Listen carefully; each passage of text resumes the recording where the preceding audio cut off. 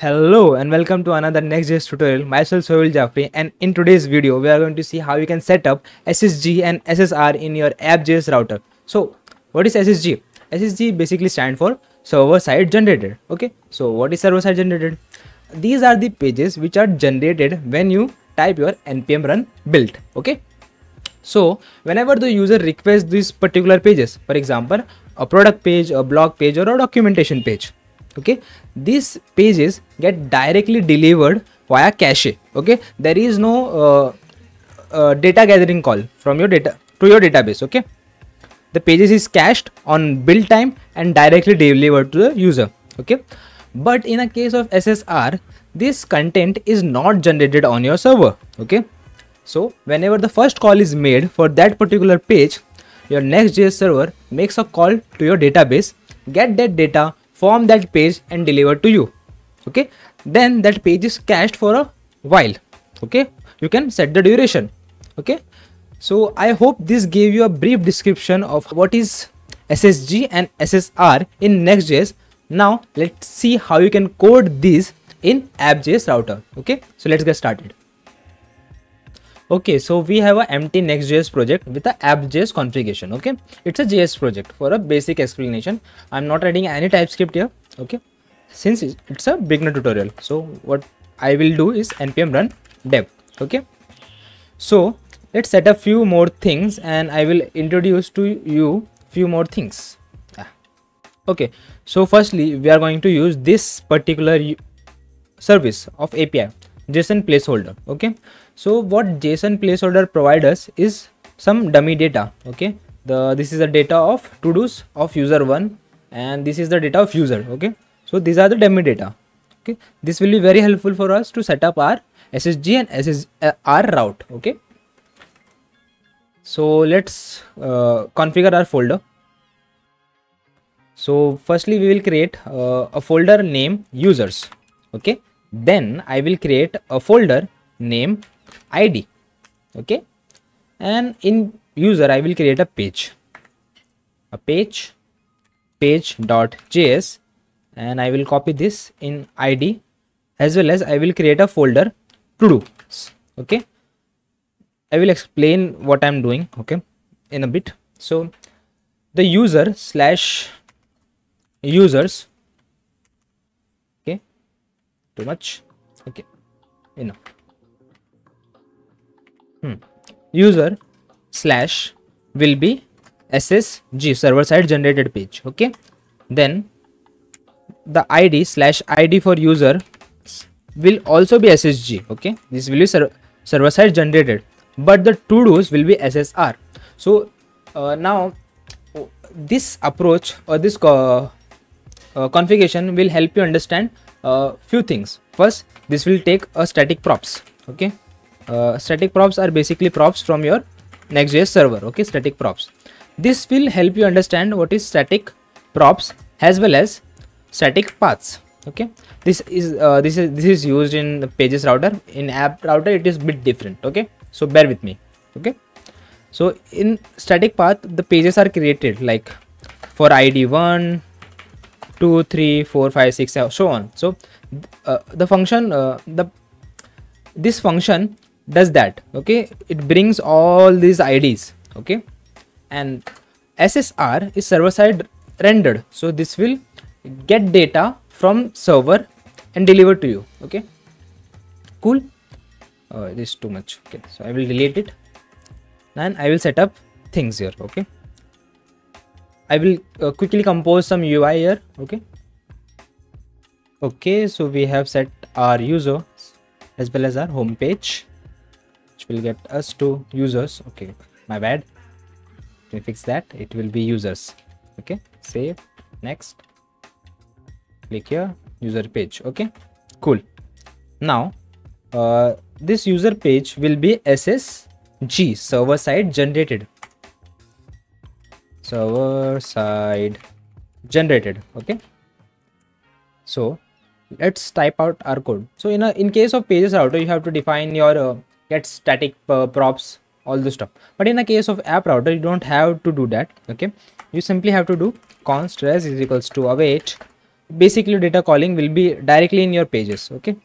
Users users will be this and there won't be any returns okay? We will we can directly use this. Users the h2 tag and uh, h2 tag with name and email okay? Let's see so this is done. Now we will change this h2 to link and it will link to user slash id okay? Let's see. One two three four. Uh, it is it is below in the browser. Okay? Now let's set up our uh, nested uh, or user one user two id paths. Okay? So for uh, in order to do that we will uh, copy paste this. Okay?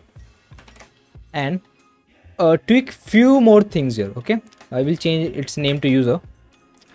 It won't it don't matter much but uh, for a readability purpose i have renamed it and it will be params okay? Now i will get const id equals to params.id now uh, this is important okay? This id will be same as your folder name. If you are uh, naming this as uh, slug. This will be slug okay? This will be slug if you uh, name it slug okay? Just to uh, explain uh, what is going under the hood okay? For now i will keep it id okay? Now i will say slash plus id to get user data okay? That particular user's data okay? Now this will be rename it to user as it won't be an array okay it will be a structured data which will contain these fields. Cool? Then it will have a link. Link to its sudo. And this to dos will be server side rendered okay? Oh no no back to okay. It will be refs slash slash users slash id slash uh, to-dos. okay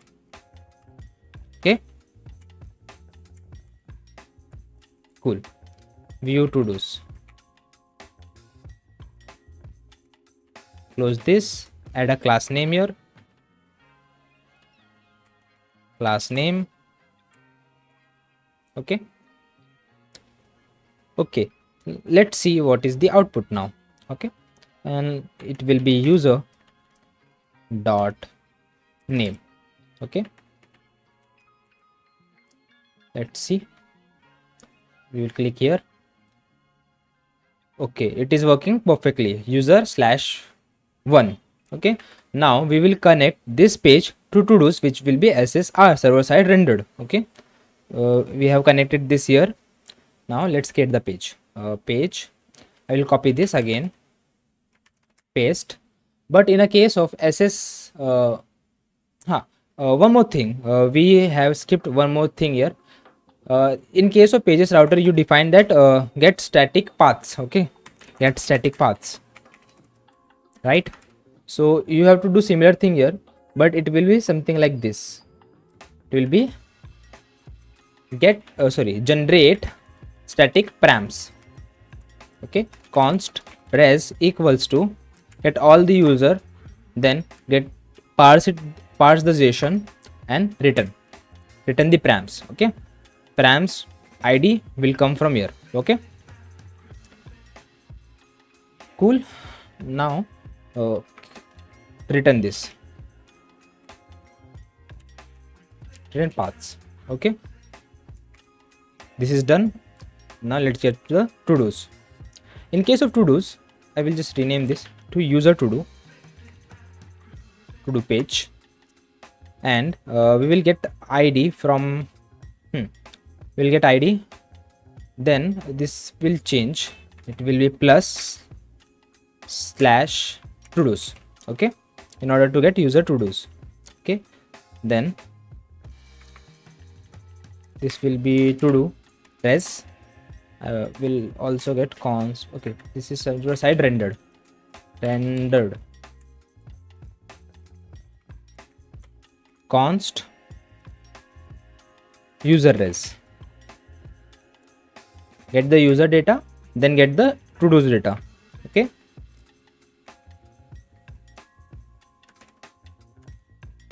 Rename this and how, to rename you can just click f2 okay? Now this will be our to do's okay? To do res to do's res okay? Cool. Now let's uh, do the ui uh, so do that. We will have our username then uh, list uh, list out its to do. To do's to do's and this will be a array map. Okay? Cool. Let's see did we miss anything? We can optimize this. Okay? I will i will show how you can do that. Uh, this will be promise. Promise dot all. Okay? We will delete this and add a comma here okay th this accept a array. Cool. Now this returns an array as well okay? So this will be user res and second one will be, will be to do's res okay? This map to this and this maps to this. Cool. Okay let's move forward. Let's check what is uh, on our ui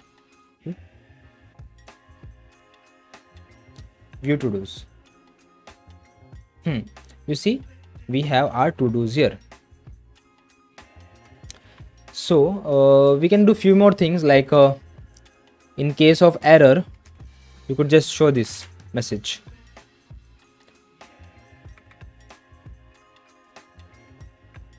Or in case user is not uh, user is not uh, in your database you can just show this then. Uh, if user is equals to 404 user does not exist return user not found. Okay? These are the few more things you can do inside the pages. Okay? Now let's see if we try to get thousand user data. Okay? User not found. Cool? So with that uh, i have explained how you can set up ssg and ssr routing in your app router I hope with this video you have understood how you can set up your SSG server-side generated and SSR that is server-side rendered pages in your Next.js project. If you find this video helpful, do like this video, subscribe to this channel and if you have any question regarding Next.js or have any difficulty setting anything up in Next.js, do reach me out via comments and with that I will see you in next one. Bye bye.